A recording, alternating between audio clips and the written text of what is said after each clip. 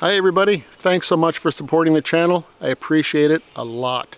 So to get right into it, a while ago I did a review on this knife, the Kodiak, and it was a pretty well received video actually. It inspired a lot of healthy and lively discussion in the comments section. I really enjoyed that. And when it was all said and done, most of us were in agreement that a tool like this is not really a standalone option. It's best as part of a trio. This, with a smaller knife and a saw, make a pretty good kit to take out in the woods. But some of you thought that a knife like this really has little value as part of your kit. You much rather use a hatchet. I get that. Hatchets are great. I have a bunch of them and I enjoy using them. But one hatchet in particular came up over and over again as being your favorite. And in fact, I got an email from somebody who asked me to compare this knife to their favorite hatchet. That's what we're going to do today. Here it is, the outdoor axe designed by Lars Falt with Gransfors Bruks. And it is a pretty nice axe actually, designed to be used in ways that a hatchet or an axe wouldn't normally be used so I think it's going to be a pretty good comparison with the Kodiak. When I saw this, I had to have it. Let's take a look, see how they compare. Just doing some general chopping and splitting tasks. Nothing too crazy. Let's take a look. So here they are, side by side. They're about the same size, take up about the same space in the pack. The Kodiak is just a little bit heavier. Both of these tools are very sharp, shaving sharp actually. So I think it's going to be a pretty fair and interesting comparison. First, let's try out the Kodiak. This is about a two to two and a half inch piece of seasoned maple. Pretty good test for a cutting tool of this size. So let's get chopping. Pretty good penetration on the first chop.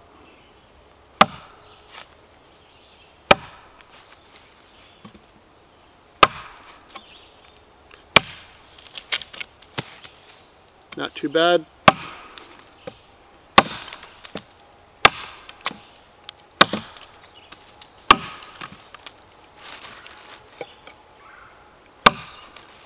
One more might do it. So pretty good penetration, nice clean cut on the Kodiak. Let's try the outdoor axe, same piece of wood, just a little bit farther down the trunk.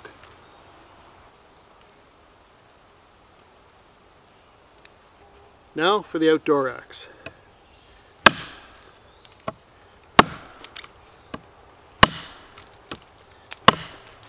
Pretty good penetration on this one too.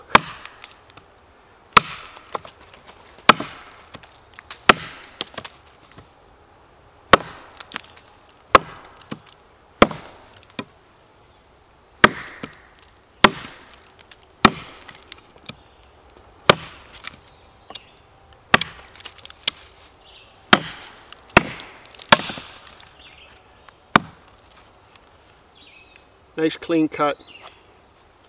No problem. Okay, splitting. I have two pieces of wood here, about the same size. They're both full of knots. Pretty good comparison, I would say. Let's start with the outdoor axe. Now this is a pretty good sized piece of wood for little axe like this, I would say. Very interesting to see how it works out.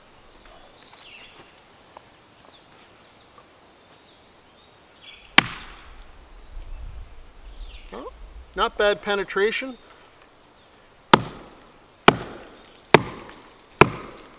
Hitting some of those knots. There we go. Pretty good job the outdoor axe. And we can do this again.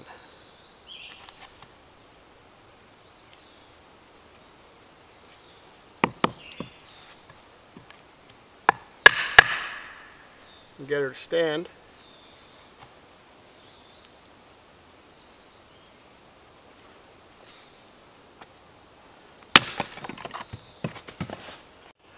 All right, Let's take a shot with the Kodiak. Not bad penetration again with the Kodiak.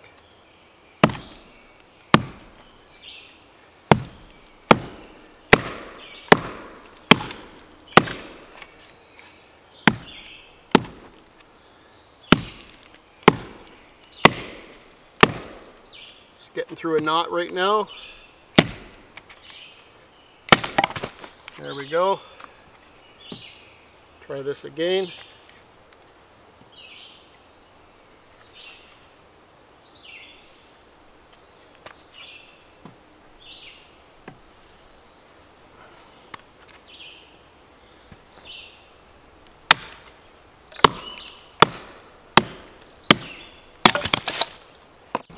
So I would say usually with tools like these, we'd be doing contact splitting. See how they do with contact splitting. Yeah, the outdoor axe is made for this. That uh, wedgy head penetrates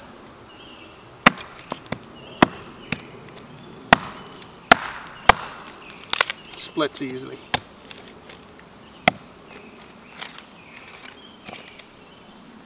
Nice work.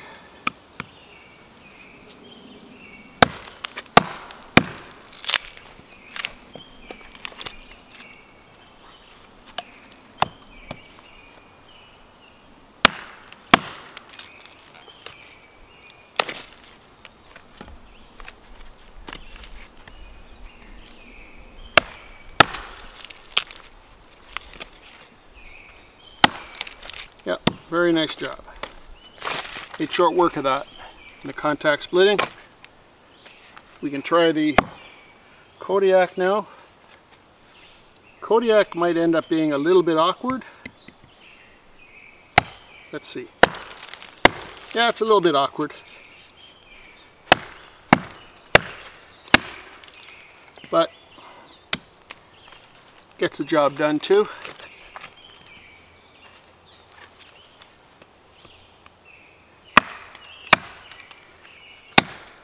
Get that nice penetration with it.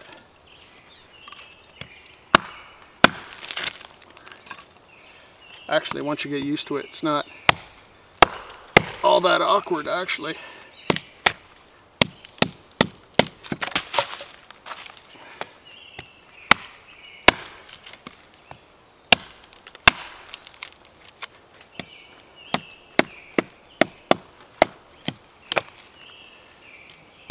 Good job too, the Kodiak. Let's try batoning now. So here we got a couple of nasty pieces of wood. These won't split or baton easily. They're dry, they're well seasoned, both are knotty and all twisted. So it's going to be a challenge for either tool.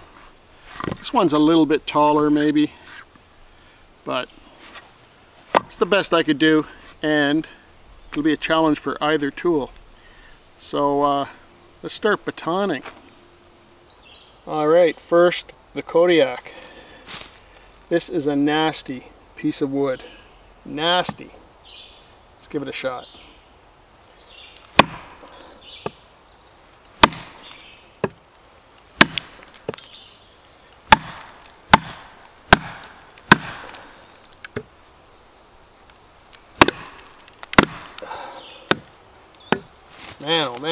I wouldn't want to do this with a big axe.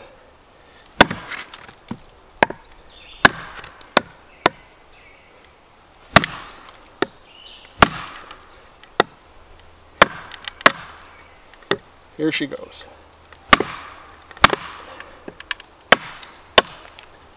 Twisted.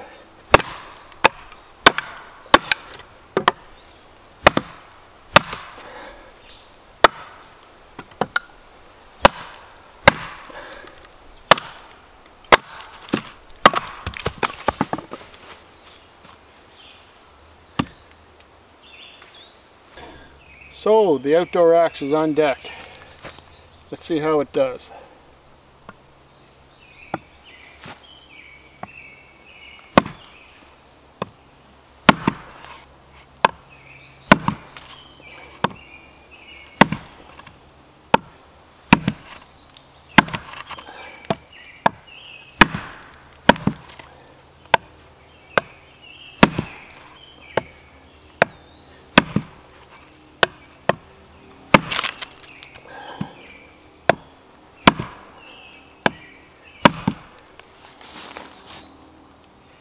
Might be starting to split a little bit, but this is not splitting that well. There we go. There we go. Once that wedge got engaged, all was good.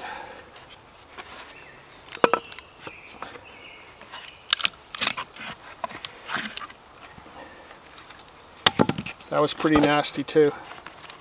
So as requested, big knife versus the outdoor axe. Was there a clear winner today? Tough to say. I do have a comment or two. Uh, some people may look at this sweetheart of an axe and say that looks like a good beginner's axe. It's nice and small and compact. I just want to caution you, nothing is further from the truth. The short handle and that small cutting surface could be very easy to miss your target and with a short handle the follow through could be horrible. So just something to keep in mind. I would say something like this is a little bit more for the advanced user because when you're swinging it, it has kind of a light head. Accuracy is very important. Contrasted with the big knife, it's a little bit heavier. It's got about a 9 inch cutting surface. A little easier to find your mark. But I'm not saying this is a bad tool. They're both excellent tools. I wouldn't hesitate to use either one of these in the woods. But interesting enough, I've been chatting with somebody over email who's doing some pretty advanced uh, bushcraft projects, building bow staves, and he recently got a big chopper. He had been using a hatchet, and he's finding that knife much more accurate, easier to use. He feels much safer using the knife to do some bushcraft tasks. So something to keep in mind. Maybe both of them could have a spot in your kit depending on what you're doing.